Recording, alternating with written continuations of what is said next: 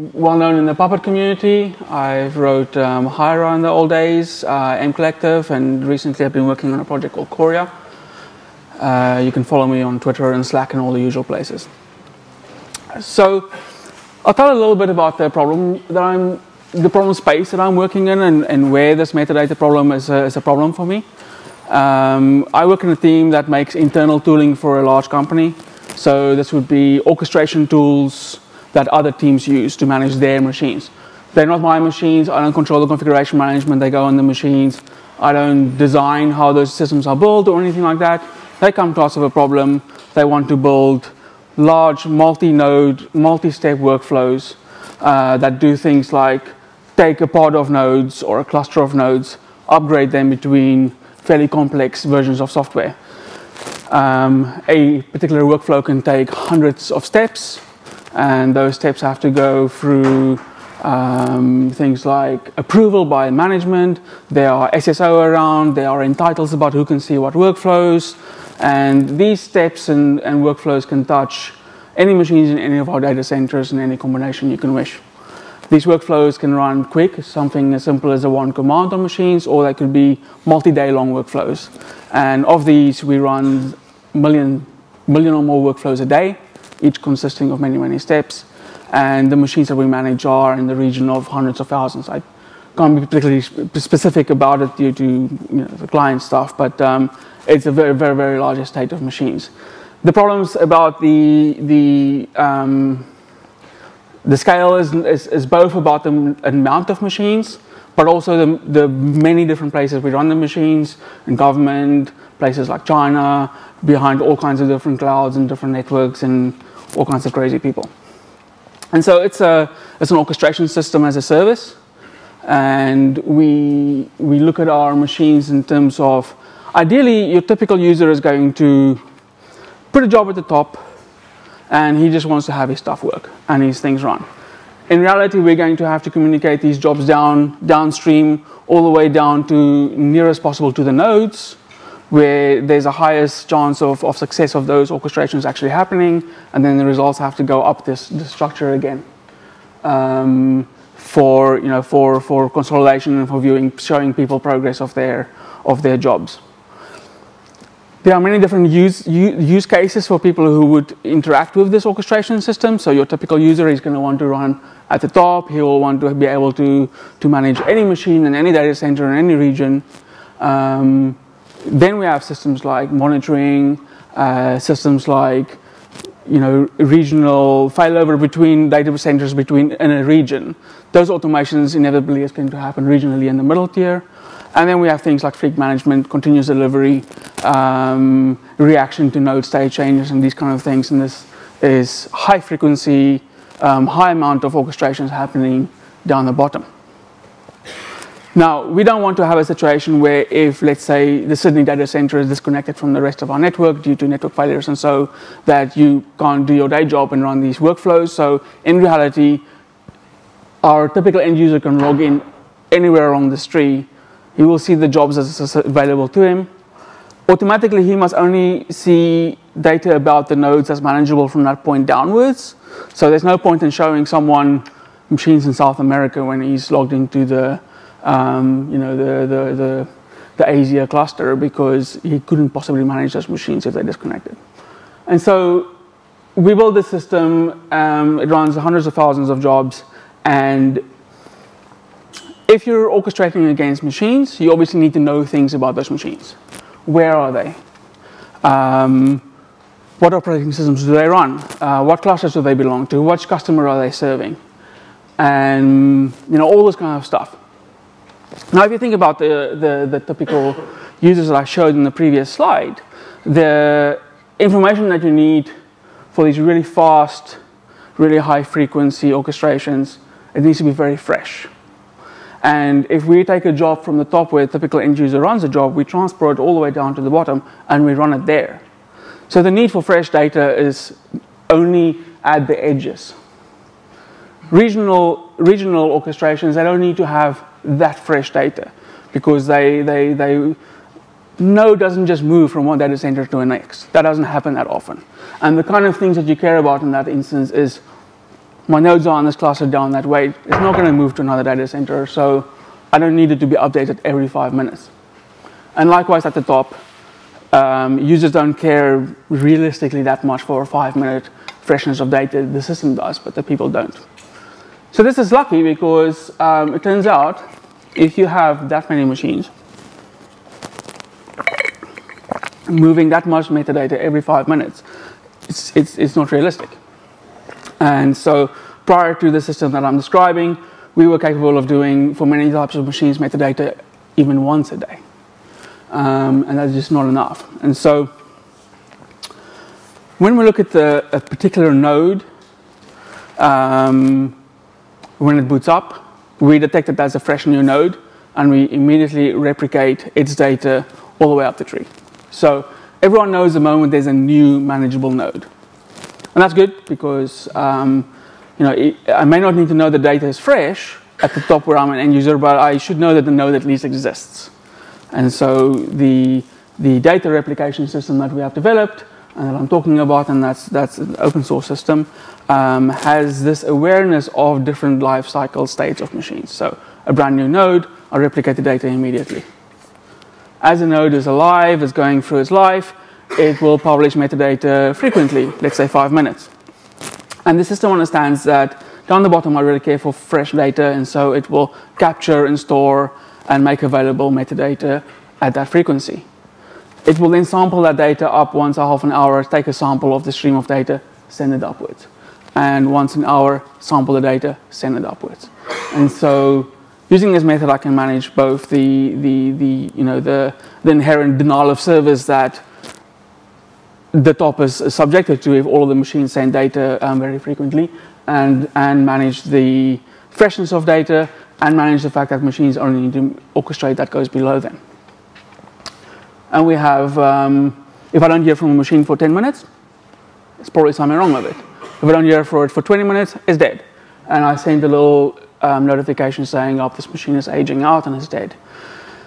That's the that's the that's a like a high level view of, of how we move the metadata. I'll talk in, in, in, in the following slides what we actually do with the metadata, what is in there, and so forth. But um, that is the that is the kind of environment in which in which I'm talking about and the problem that I have to solve. Now, as the metadata move between these tiers, I also have different reasons for interacting with the metadata. Either I need to process it very, very, very quickly for continuous auditing, or just store it somewhere for other systems to use it, or even share it with other teams. Because as you can imagine, in, um, in large enterprises, these kinds of metadata is political gold. Um, if, you, if you're prepared to share this data with other teams, you can get lots of kudos for that, and, and, and um, it carries a lot of weight in enterprises, politically wise. And so the system that we want to build is towards making all those use cases possible. Um, we have a number of problems. Obviously, there are many machines, and so the data about the machines can be 100 kilobytes or um, you know a megabyte big. We have from microservices; they are quite light on data. Metadata about the microservices not that much, um, all the way up to machines with 700 CPUs and, and very large amount of volumes attached to them. So the metadata can be really, really large. Um, freshness matters. I really want to have fresh metadata, but I have the problem of just how much metadata there is. Uh, the stuff is all over the world. There's slow links, there's downlinks, there's links that are intermittent, or they just lose packets. Very difficult problems. Um, and ultimately, when I process this data, there are many different kinds of processes for the data. Some of them are effectively a tail minus F on the data, and they just do something that's very, very quick, very, very lightweight. Other stuff do quite heavy lifting on the data. If I want to, for instance, um, audit the shape of a certain cluster or a pod, or make sure that all my web servers aren't running on the same DOM0 or in the same availability zone, those calculations tend to be quite heavy. So there's, there's very different kinds of processing that has to happen against this data.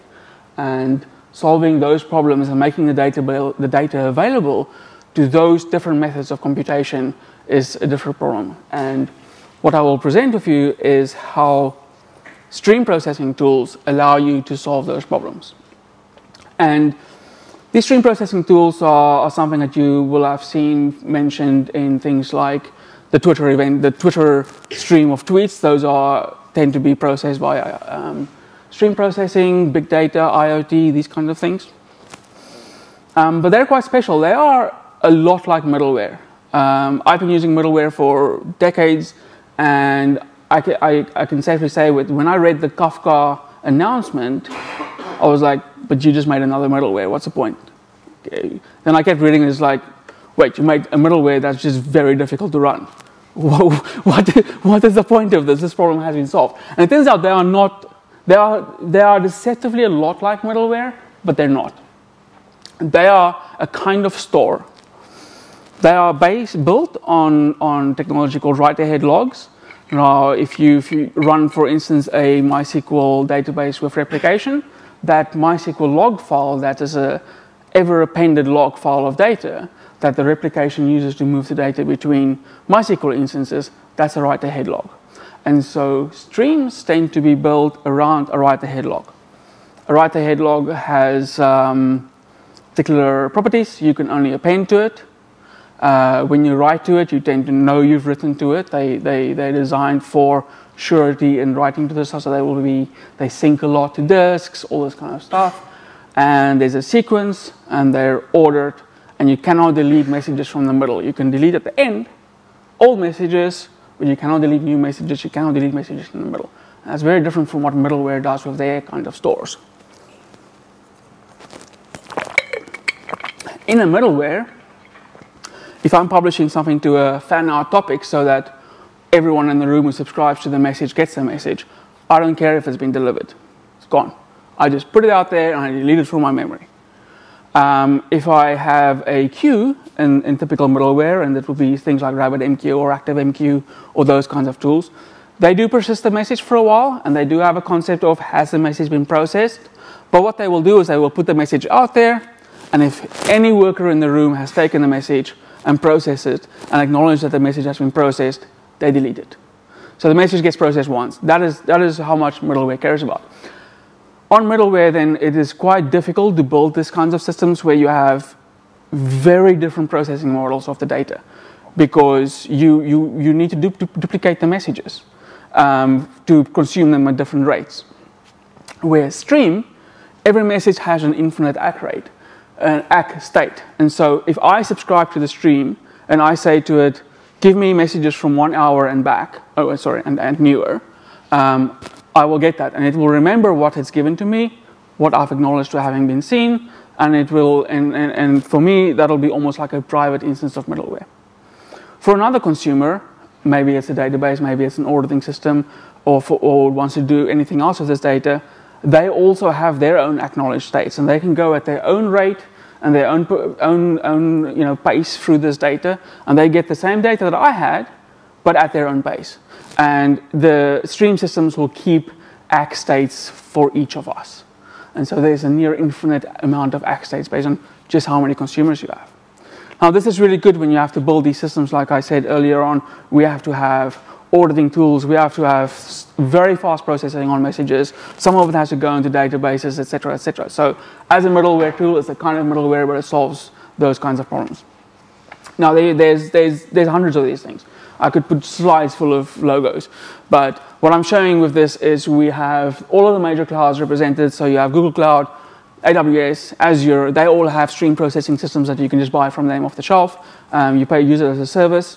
There are, of course, open source ones like Apache Kafka, and, and, the Apache project, in fact, has quite a few, but Kafka is, I think, this is one I think most people know about. Um, and there's a little company called Nats, which makes something called Nats Streaming.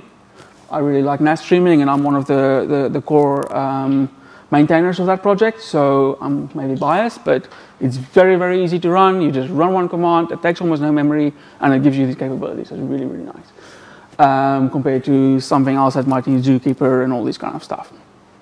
Um, but there's a, there's a huge selection of streaming processing technologies you can use, licensed by all different kinds of licenses, and you either run it yourself or you can outsource it, all this kind of stuff. So, so there used to be a, a time where this was quite difficult to get into this space because they tend to be Ohai CPU, difficult to run, high databases, etc., etc. It's, it's become very, very easy. So there's something that you know, that anyone can look at, not just people with large teams who can manage large infrastructures can look at these tools. So what metadata am I talking about? Um, we can we can say it's facts, and if you've if you've used Puppet, you'll know what that is, or high, or grains, or you know all this kind of stuff. It is effectively just structured data that describes a node. Um, I would also consider certain events, maybe not a full event stream about a node or all monitoring events, but certainly ups and downs. I do consider as metadata, um, and also relationships. If I have a cluster of machines, they're going to use a storage system.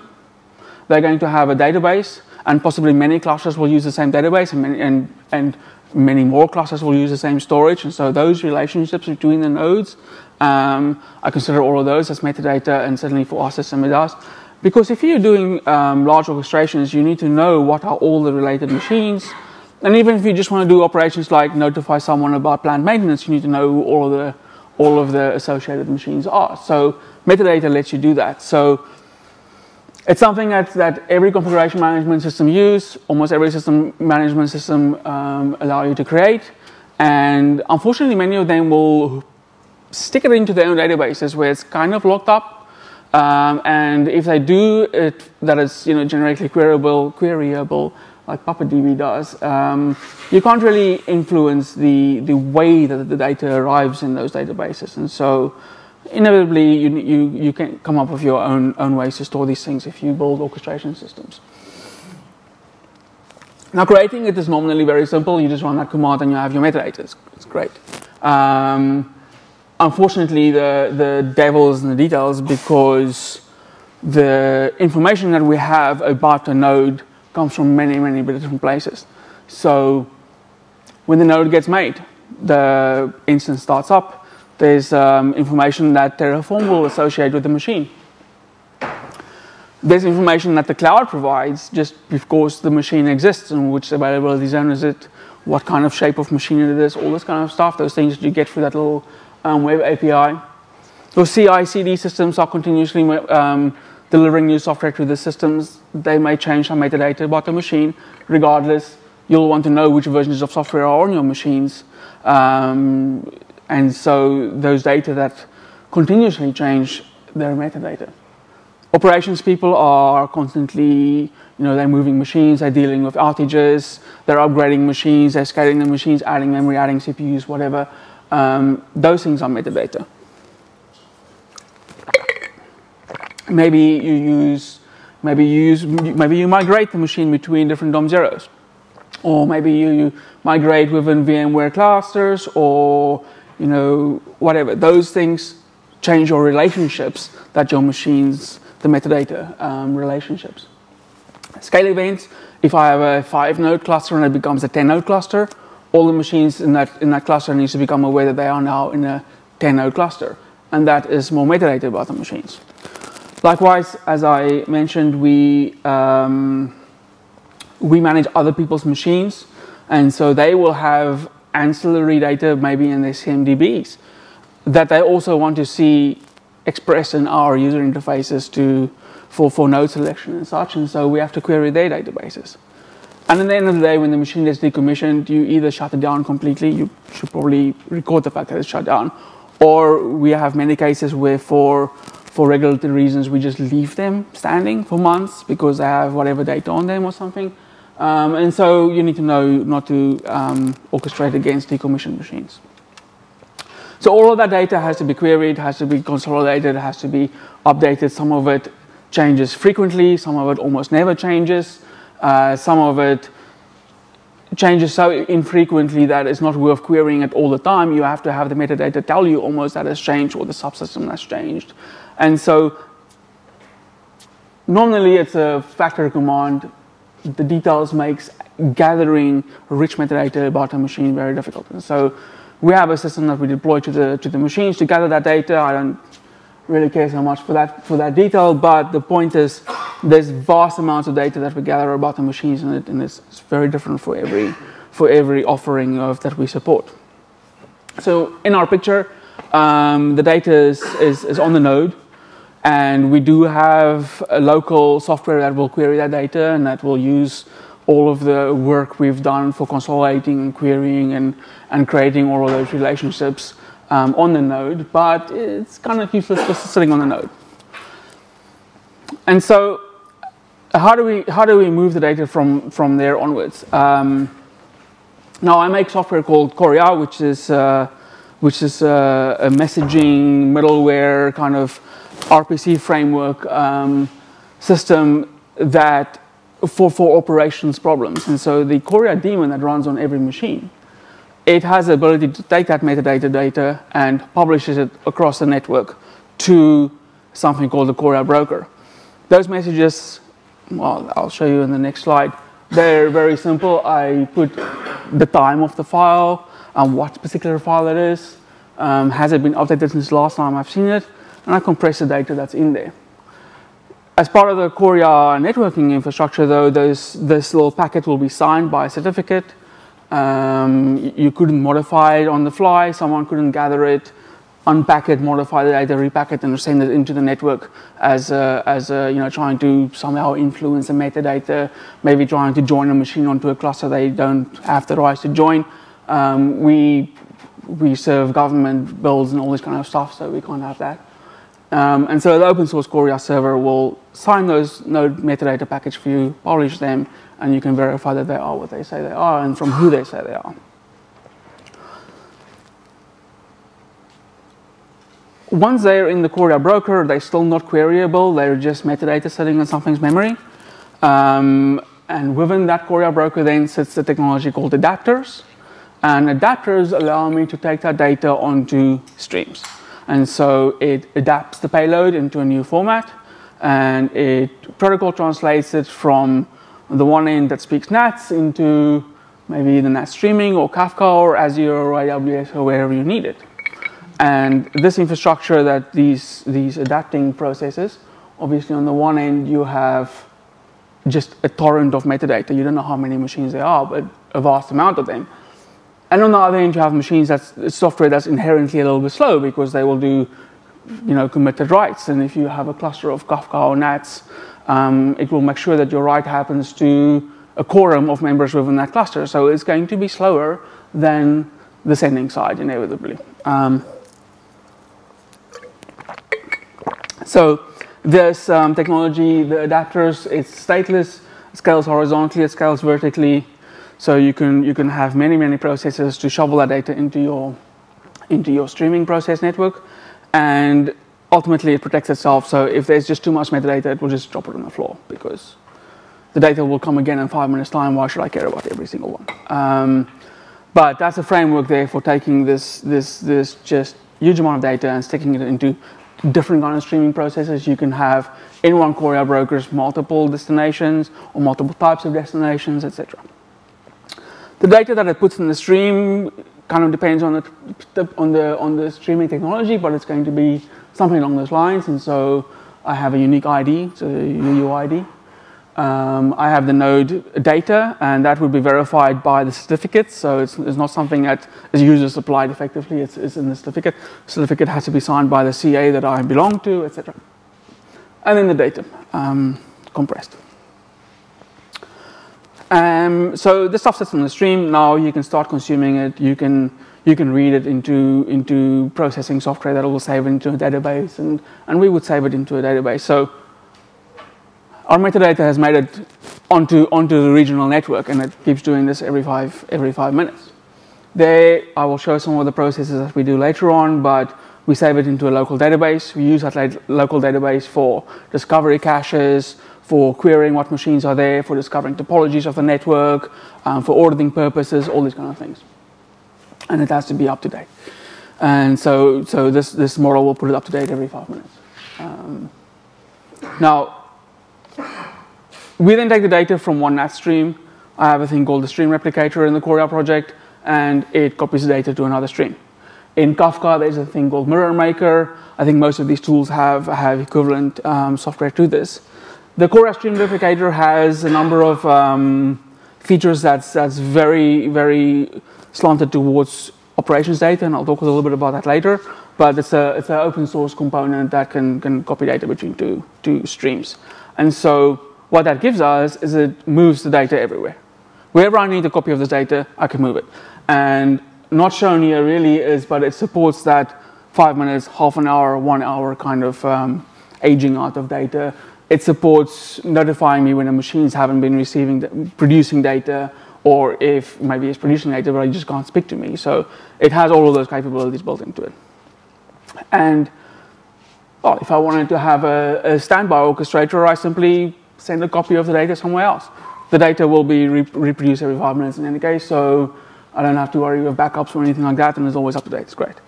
Um, likewise, if I have another team in my in my in my um, company who really um, wants this data because such rich data that's aware of so many internals of so many different teams is just gold. Um, I can replicate them either regional overlay network, all of the data, whatever they want, on whatever age they want. I can give it to them once a day, a copy of the stuff.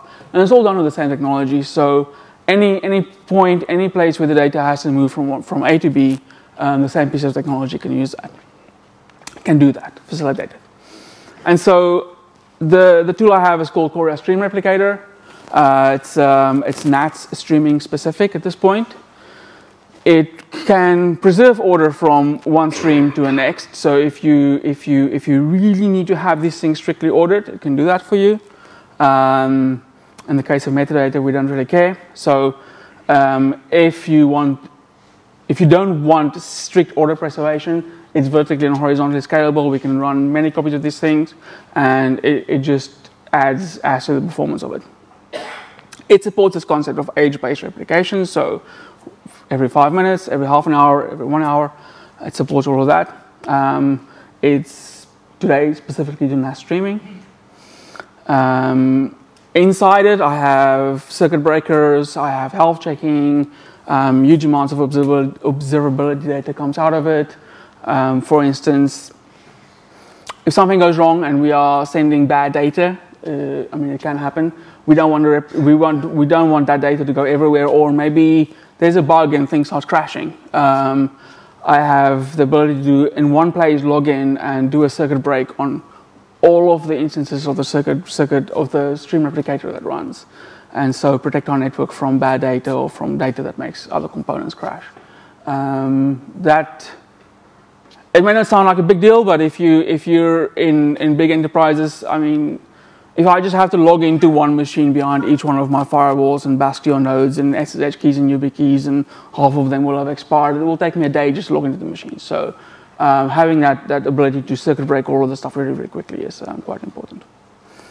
And it, it speaks TLS everywhere. It's an open source project, um, Apache license, and so you can use you can just use it to solve these problems. I will show some performance data just now of it. It's um, YAML, YAML camp compliant, I guess, so it has a, it has a YAML config file. Um, and to make it scale horizontally, you just set how many workers you want. To make it scale vertically, you just set, put them all in the group. And you can start these things up on many different nodes. Um, and depending on your scale and your, and your messages you have to process, it scales in both directions this thing where it ages out the machine, so only copy data based on certain certain um, properties of the of the message. It's very easy to configure. If you put JSON data over it, it will look at the the JSON field called host, um, and it will cherry pick once an hour out of that stream and replicate it upwards. So it's very easy to, to achieve those things. This picking of picking of messages and only replicating up um, once an hour really, really helps a lot. So here I have a graph. We have, what's that? Let me see. Uh, 2.5 megabytes per second of metadata at the top. And that would be my five minute data for, for one, of the, one of the data centers. And then leaving a data center is only 500 kilobytes per second on, roughly on average. Um, and that's because it's only cherry picking out once, I think this was maybe a half an hour or something like that. Um, so it, it, will really help with the denial of service issues of large amount of data upwards, and it, um, it really saves you bandwidth and all that kind of stuff. I don't think other replication tools that I've seen for other streams have this kind of capability, so it's, it's kind of unique to it, but um, if you don't need that, you can do the same with Kafka.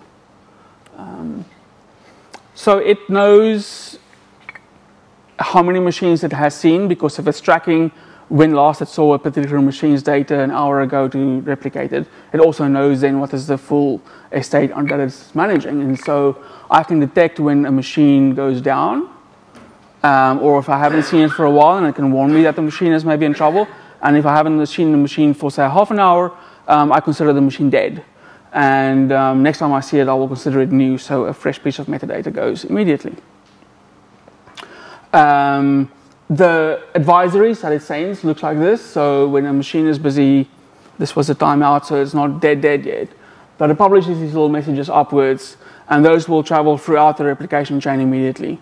Um, and subsystems higher up that wants to go, you know, like in our case, we are we are offering people the ability to orchestrate their machines, and so we we warn them that the machine is you know probably not manageable right now because we haven't heard from it for a while. And so those little small messages, events about the nodes go out, and and it turns out that's that's actually super helpful because large monitoring systems not that great.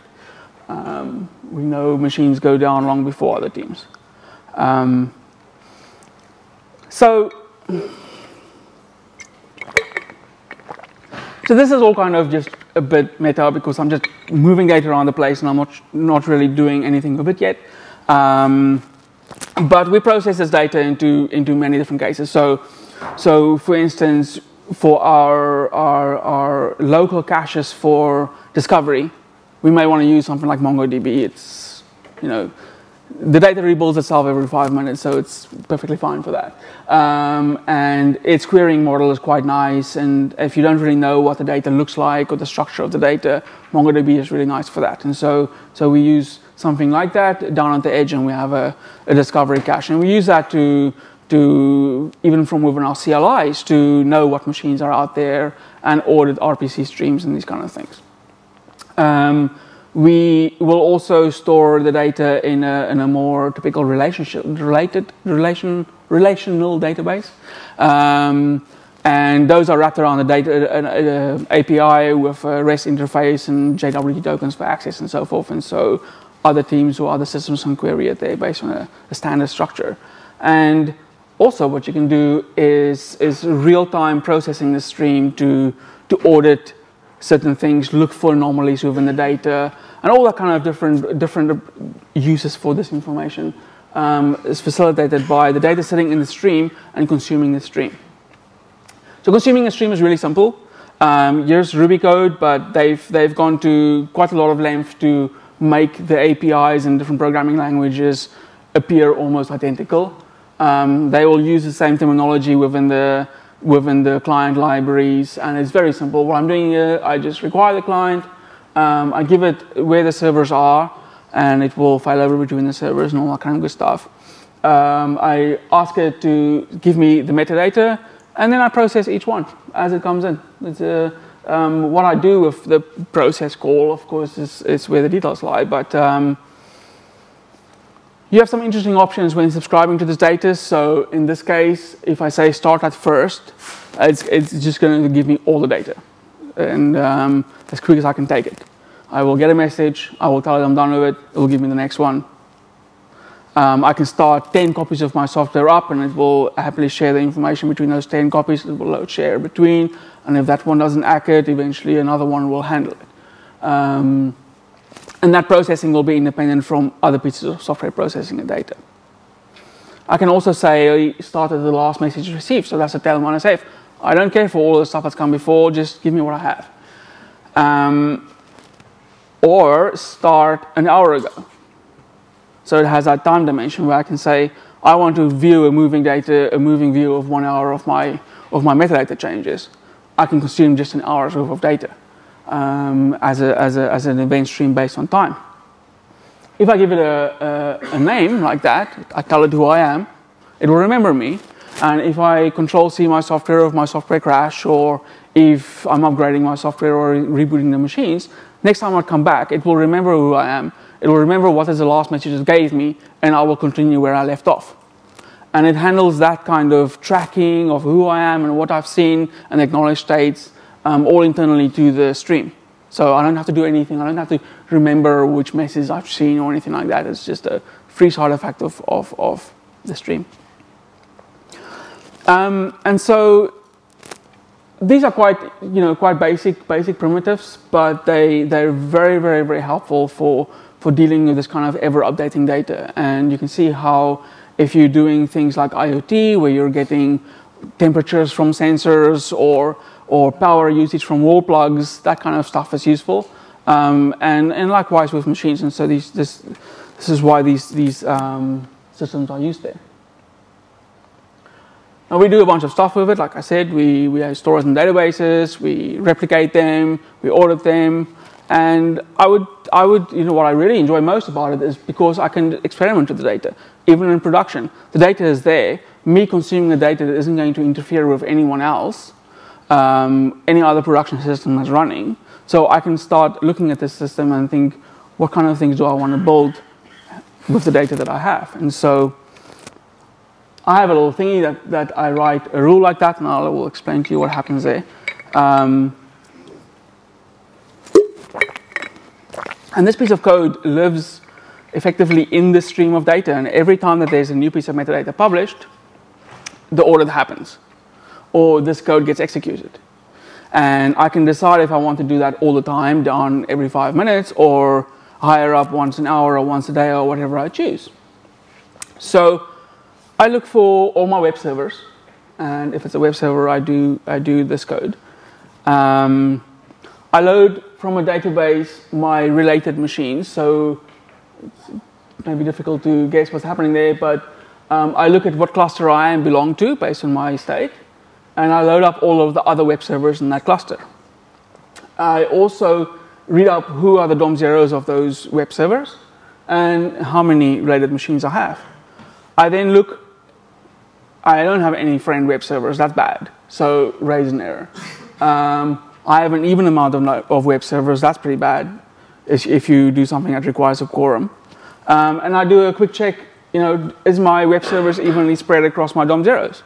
Now that, that's, that's, a, that's a very difficult thing to do if you don't have metadata. And even, even if you do, um, to do that continuously is, is really difficult we, we, we did such a query on our estate and we found that mistake has been made a lot to the point where it's so and we could probably not fix it. But um, with this in place, we will immediately, the moment someone makes that mistake, we are notified that there's a machine or there's a cluster that's, that's deployed in such a way that it's not highly available. Um, these are stupid examples maybe, but uh, you, can, you can see how you could put any kind of logic in there. And when you have these rules that describes a healthy cluster, and you take those rules from the cluster owners, not maybe from, from us who are offering a service, if I enable the cluster owners to write that, I can tell them the cluster is healthy or not, the shape of the cluster is healthy or not, without necessarily understanding what is inside their cluster because they provide the rules. And I can do things like a what if scenario. What if I wanted to scale out my cluster for another web server? I'm not doing it now, but what if I want to do it? Um, I could run the same rules and I can tell them there is no scenario where you can scale your infrastructure out today because you simply don't have enough DOM zeros. Or if you try to scale it out, it's just not going to work. Or um, you'll, you'll comp compromise availability of your cluster. And and that is, you know, super helpful because you can let people know they need to buy more stuff, which is great if, if you sell them things. Um, or just from an operational point of view, it's, um, it's very useful data to have. And so we have these streams, and, and I, we started off just shifting metadata over it. And over time, it's, um, it's become really, really useful. I, for instance, have Prometheus pollers on all of the edges. And instead of running full Prometheus stacks and clustering from Prometheus and opening just thousands of network ports all over the place, um, I pull Prometheus data centrally, I put it onto my stream, the exact same stream replication system copies it up to where my Prometheus runs, and I express that data on a single pane of glass. I started developing many more kinds of events about um, my network, new machines starting, new machines shutting down, etc., etc. Um, those goes over there so that our orchestration systems can consume it and give people a much more real-time view about what actually happens about their stuff. Metadata I mentioned. We send alerts about certain conditions over that. This could be from these audit alarms. And then on the other end, we send the stuff to Prometheus. We send the data to other teams. Um, we do audits on them on our, on our central database. Um, we store them in databases, we feed it into graphs, and we even notify Slack about certain things. Um, the, the, I'm at the point where we will also start doing every CLI invocation that gets done in a data center by any operator will emit an event onto this, and we will have a very, very large database of compliance data that um, will show people, for instance, every command that was run on every box ever. And, and we have that for about six years, but it's not quite this nice. Um, so this technology is very useful. It's easy to deploy. There are really, really cool tools out there. They're open source. They're free. Um, play with it. It's very, very cool. That's me.